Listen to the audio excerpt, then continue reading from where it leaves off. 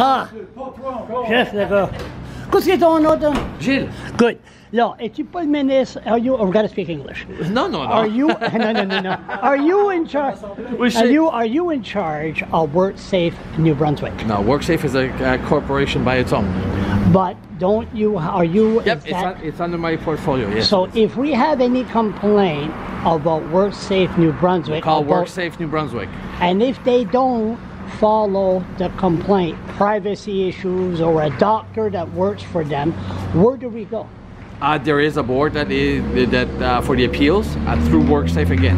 There's a phone number that you can reach. Yeah. So what? What's your job? no, no, but what's your job? The policies, the policy, the, the policies on for WorkSafe. We're setting the guidelines.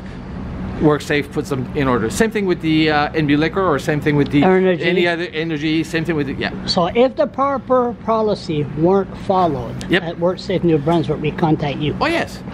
and you will be happy to listen. This is Oh, a- of course I'll be happy to listen to you. How long you been in MLA? MLA since uh, tw- uh, 2014. And this is the first time I put the camera in your face. How does it feel? it doesn't scare me at all.